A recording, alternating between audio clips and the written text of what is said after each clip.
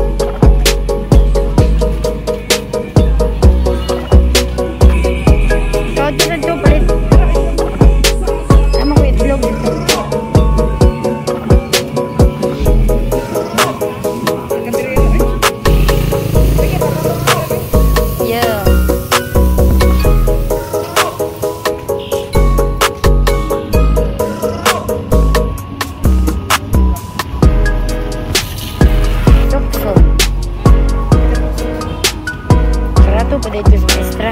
Klaro ng.